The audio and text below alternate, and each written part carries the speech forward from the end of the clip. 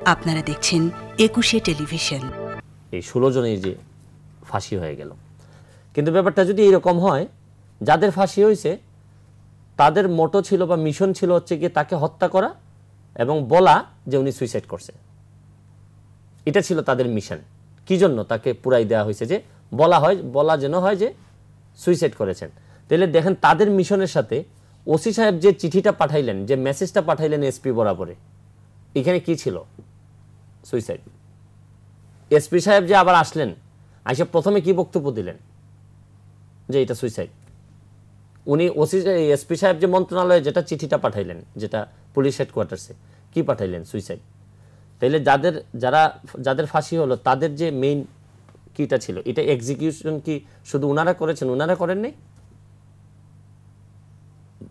এটা একটা বড় একটা জায়গা, যেটা ঠিকমতো টাচ করা হয়নি।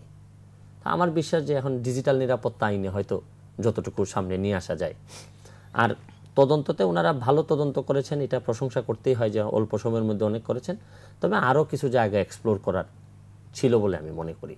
তারপর আমি মনে করি বাংলাদেশের বিবেচনায় এই যে যে রায়টা এই তদন্তের ভিত্তিতে হলো, এটা একটা বড় মাইল ফলক হবে। তদন্তের মধ্যে বেরোয় আসছে যে এটা একটা মিলিটারি প্ল্যানের মতো তাকে হত্যা করা হয়েছে। মিলিটারি যেভাবে প্ল্যান করে একটা মিশন করে যে কে কোথায় থাকবে কোন দরজায় থাকবে কীভাবে তাকে আগুন লাগানো হবে। এবং এখানে যদি আপনি শুধু তাকে হত্যাকাণ্ডে কারা কারা জড়িত ছিল আগুন দেয়াতে কারা কারা জড়িত ছিল তাতে যদি আপনি ফার্স্ট ডিগ্রি বা সেকেন্ড ডিগ্রি যদি বিবেচনা করেন তাইলে কিন্তু হিসাবে কিন্তু যিনি মেইন প্রিন্সিপ মানে অ্যাকিউজড এই আপনার প্রিন্সিপাল সাহেব। প্রিন্সিপাল সাহেব তো ছিলেনই না।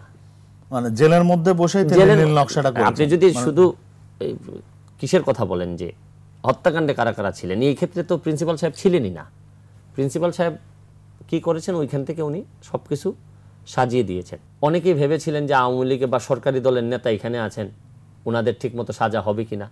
উনি তো এইভাবে ছিলেন না। কিন্তু প্রাইম মিনিস্টার যে স্ট্রং একটা স্ট্যান্ডিং নিয়েছেন এটার ব্যাপারে